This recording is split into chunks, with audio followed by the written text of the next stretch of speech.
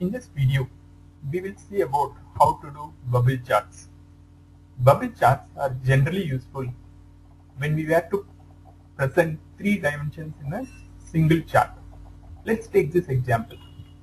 We have four assets, the large cap represented by Nifty, a mid and mid cap represented by BSE mid cap, a commodity and a bond represented by AAA 5 The returns, expected returns of each of these assets are given here.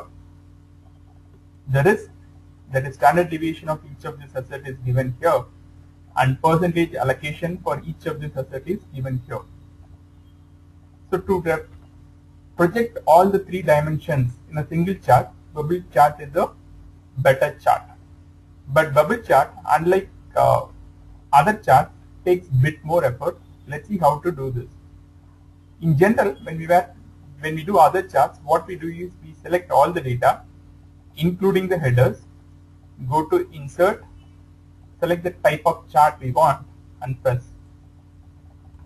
However, if you do that for bubble chart, you will not get the right charts. This chart that we are getting is not the right chart that we want because it's not representing the dimensions we want, right? It has only two assets represented. So you will get an ugly chart. Instead, what you need to do is select only the required data, which is here, the 3 into 3 mat 3 into 4 matrix that we have. Go to insert, go to other charts and select the bubble chart. Now we will get a chart that projects dimensions. Now remove this uh, legend that has come by default and now we want to show what are each of these dimensions. The x-axis represents return, y-axis represents risk and the size of the bubble represents percentage allocation. So let's also show the values of this. Once you click the chart, you will get this chart tool which shows, which has some other options. So click layout, go to data labels, more data label options and click X value, Y value and bubble size. So you will get what of this bubble sizes are. Right? Once you do this, you can also go and do the headers. So go to again layout, axis titles, so chart title, center overlay, and you can give a heading you want. Let's say asset allocation. Fine, this is how we can simply do, do a bubble chart. However, even this chart has a disadvantage. While the values are here, I still don't know what is the what does each of this bubble represent. For example, if I want to know what is the bubble that represents Nifty here, I wouldn't be able to recognize that, right? So this becomes a disadvantage in this chart again. So to overcome this, we can do it in a slightly different way. So remove this chart. Let's go, don't select any data. Let's go to insert, other charts, bubble chart. Let an empty chart come. Once it comes, let's go to select data. Go to this tab add. Now you can do one by one. Series name Nifty, X value is return, Y value is risk, and series percentage allocation is series 3. Save OK, add one more.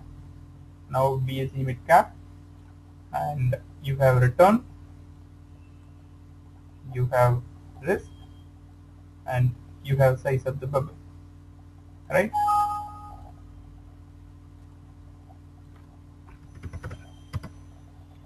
Save OK, add one more. Commodity, X value, risk and then you have percentage allocation. Add one more. AAA fire X value Y value.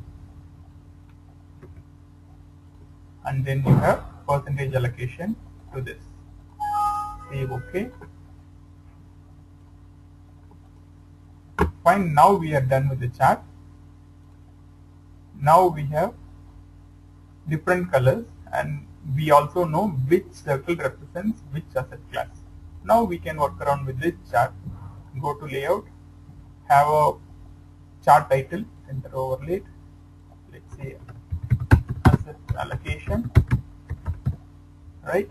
And we can move this legend down, legend at bottom, right? And then we can also have the data labels. Go to data labels and say what kind of data labels you want. And now you have a good chart that represents all the important dim dimensions.